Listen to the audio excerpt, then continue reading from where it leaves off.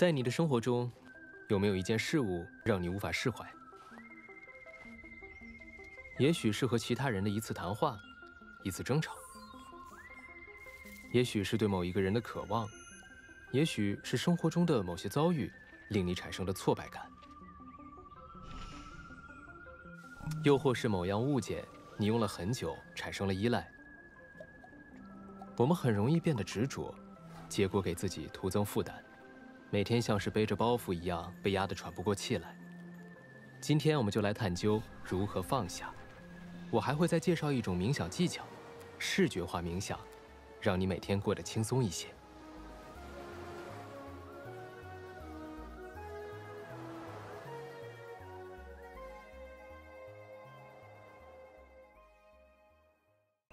欢迎收看《冥想正念指南》。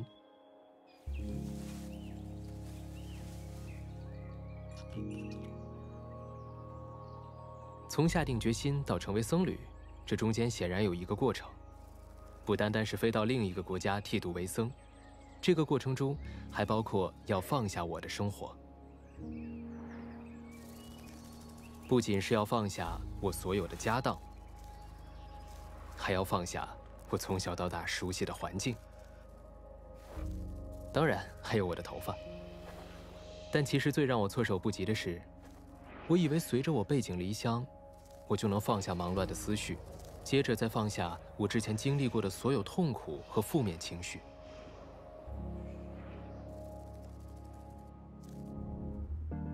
但我很快意识到，要想放下心里的念头，并没有那么容易。即便我静坐于喜马拉雅山脉那壮丽的美景之中，身边还有全世界最优秀的老师指导，我依旧能感觉到思绪像背景音一样滴答作响。大多数人的头脑总是处于一种相当忙碌的状态，就像一只跳来跳去的小猴子，无休无止，从不给自己时间停下歇会儿。这就是为什么我们总是会觉得很累，感觉不堪重负。不是每一个人都知道该怎么获得休息和放松的感觉。通常在这个时候，我们会想办法去尝试解决这个问题，而本质上，这还是在用一只猴子去控制另一只猴子。所以，我们要想做到真正的放手，我们不仅要在自己的生活中创造一些有利于放松和休息的外部条件。还要从内心深处理解怎么让自己的心灵得到放松。这个时候，我们就需要创造一个可以让我们自然而然放手的环境。我在寺院修行时，一位老师曾经这样为我解释。他说：“想象一下，有一片蓝天，它就是你的内心。这片天空一直存在，当然。”有时候蓝天会被乌云，也就是我们的思绪覆盖，我们不一定能一直看见它。事实上，生活中很多时候，我们的内心可能一直乌云密布，以至于忘记了蓝天的模样。但这并不代表它就消失了。当我们把自己的内心想象成蓝天时，其实就是在创造条件，让思绪的乌云逐渐散去，让我们能欣赏到。更多的蓝色，你不需要去别处寻找，它一直都在。视觉化冥想一开始可能会让人觉得有点难，但它的难点更多的是在于我们接触它的心态和方式，而不在于技巧本身。所幸的是，视觉化冥想其实很容易学会。在练习这个技巧时，我们要想象有一束温暖的光。从头顶倾泻而下，流进身体。这时，我们心里可能会想：“我一定要把这件事做好，我一定要清楚地看到画面。”然后就会开始用力地去想象。我们经常会把练习想得太复杂，会容易担心应该把光想象成大的还是小的，圆的还是方的，这样会适得其反。所以，这次的练习我们会采用稍微不同的方法。现在花一点时间，想象一个你很喜欢的地方。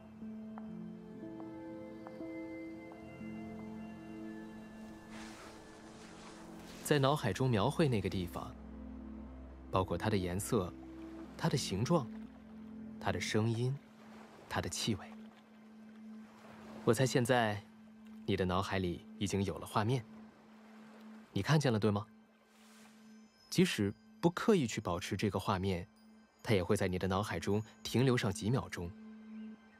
这种温和放松的做法，对视觉化冥想很有帮助。所以记住，你不需要努力去做任何事情。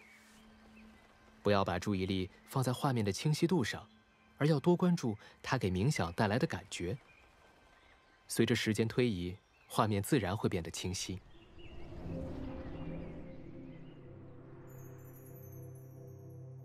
冥想的次数越频繁，我们就会感到越自在。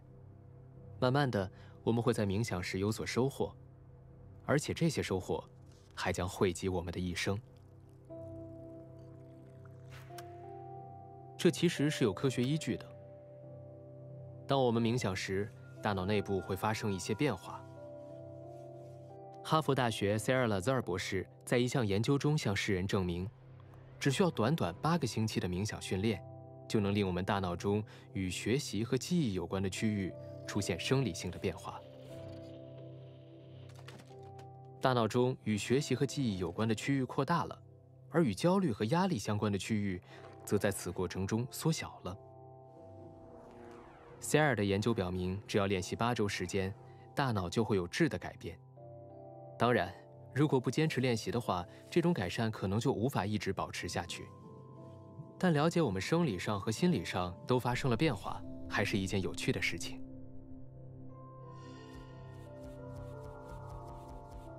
现在，让我们付诸实践，我将引导你进行冥想。老样子，让我们先花一点时间。把自己调整到一个最舒适的状态。你可以利用这段时间决定你想躺着还是坐着，睁眼还是闭眼，只要用你觉得最自然、最舒服的方式就行。在我们即将开始之前，我再次提醒一下：冥想时大脑会产生杂念，就算杂念产生了，也不必沮丧，分心是很正常的。我们唯一需要做的就是觉察到分心。然后把注意力轻轻地带回专注对象上，今天的对象就是我们脑海中的画面。练习的时候，我们越是使劲儿，就越是放松不下来。不如让我们借此机会真正静下心来，让我们的身体和心灵找到放松的感觉。我们要找的东西已经有了，就是内心的蓝天。不是要改变我们自己的内心世界，只是需要为拨开乌云。创造一些条件。首先，睁开眼睛，视线保持柔焦，然后去感受你身体周围的空间。视线不要集中在一点上，而是要轻轻的散落开。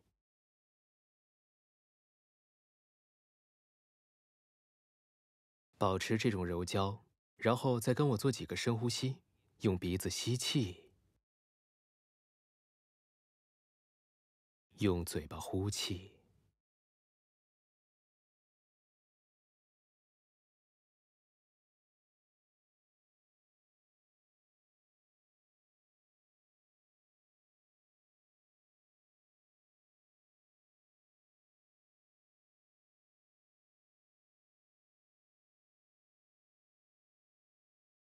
当你吸气时，觉察肺部逐渐扩张，身体充满空气。当你呼气时，你会感到一阵轻松，身上的肌肉也变软了。再来一次，用鼻子吸气，用嘴巴吐气。如果你愿意，现在可以轻轻的闭上眼睛。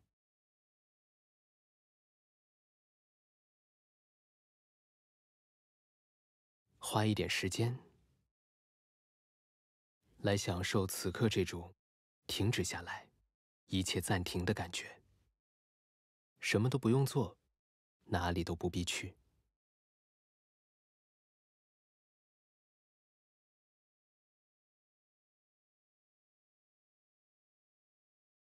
现在，让我们来感受身体下压的感觉，感受你的身体逐渐下沉，压在你身下的座椅上，或是地板上。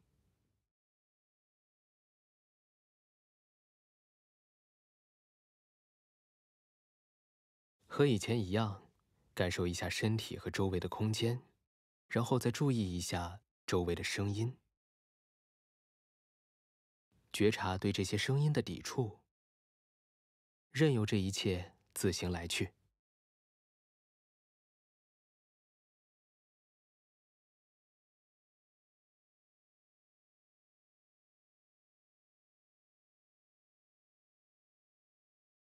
不管你是。坐着，还是躺着，用心体会今天你身体的各种状态，甚至是你身体的任何感受，有点紧绷，或者有点紧张，放下它们，体会放松的感觉。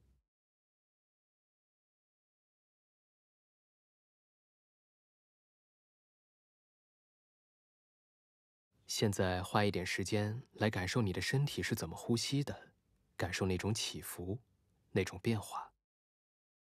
不需要做任何事情，花一点时间，让注意力停留在这儿。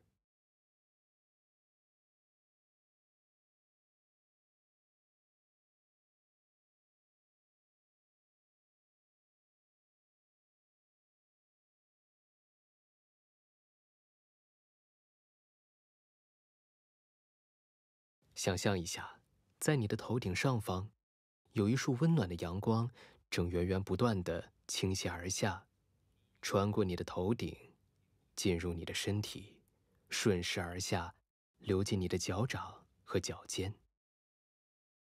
想象一下，你的身体里充满了阳光，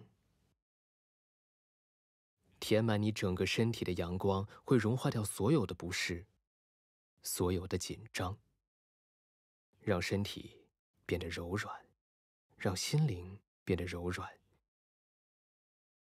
现在，让我们从脚尖开始，再一次想象阳光缓缓的在体内流淌，填满脚尖、脚掌，向上经过脚踝。然后流进我们的小腿，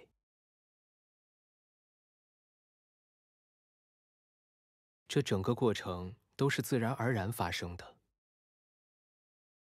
有时我们会关注，有时我们会分心。分心的时候，只要把注意力轻轻的带回来，回到脑海中的画面上，让阳光在身体里流淌，融化掉你所有的紧张。阳光流进我们的大腿，让肌肉变得柔软。阳光继续向上流，流进骨盆、腰部，浑身的肌肉，所有的紧张，都在阳光中柔软了，融化了。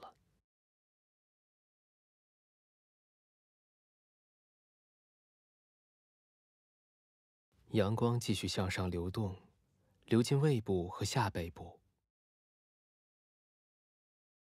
所有紧张都消融了。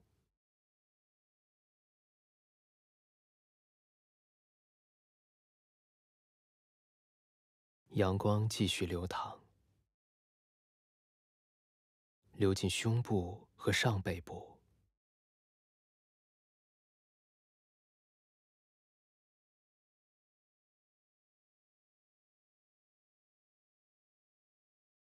所有紧张全部都消失在了阳光中，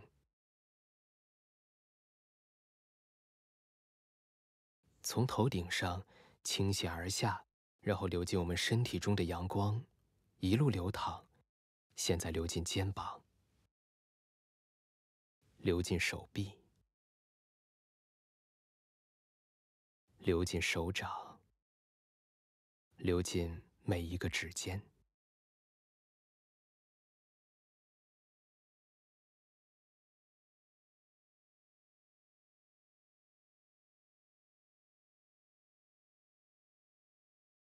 阳光顺着手臂继续流淌，融化了所有紧张，身体如释重负。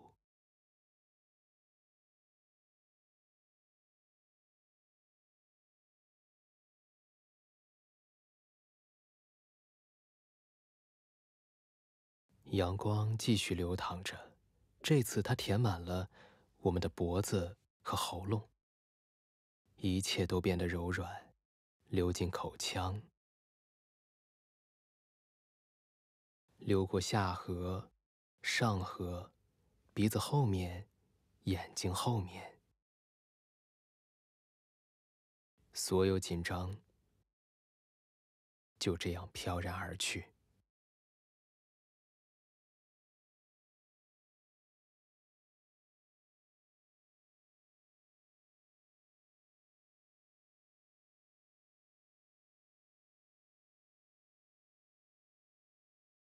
直到阳光达到最高的位置，我们的头顶。虽然现在整个身体全都充盈着阳光，充满了自在感、温暖感和空间感，但还是继续想象，阳光仍在流淌。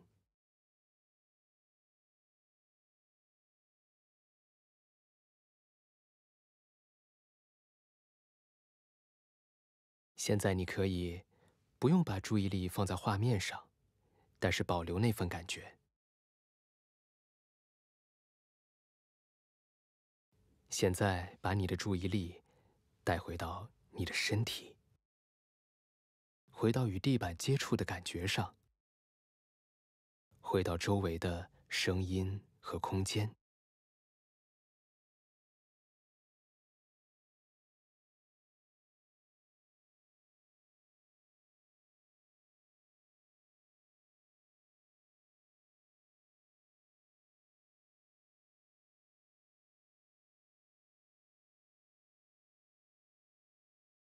只要你觉得准备好了，就可以轻轻地睁开眼睛。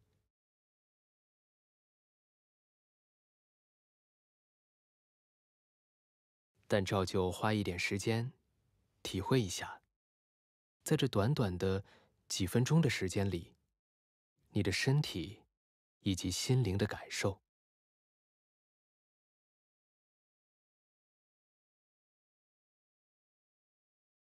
但愿今天过后。你能感觉到变得轻松了许多，也放下了许多。如果没有立刻感受到也没关系，你可能需要多一点的时间来适应和熟悉这样的练习。即使你现在还没感觉到什么，只要记住这些就好。你的大脑和心灵已经开始发生实质性的变化。还是那句话，只有不断练习冥想，才能熟练。所以，敬请关注下一期节目，我们将探究如何感恩，如何才能在生活中保持感恩，以及如何能够重新爱上我们的生活。我们下期见。